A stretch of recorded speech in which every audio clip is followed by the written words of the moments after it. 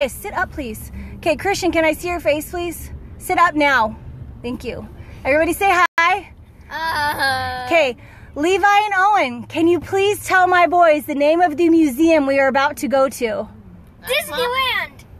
Oh, you figured it out. I wanted your friends to tell you. We're going to Disneyland. oh my goodness! I knew it. We're going to Disneyland. That's you lied. You lied. It's a museum of roller coasters and Walt lied. Walt Disney's We're brain. going to Disneyland. that is so cool. You lied.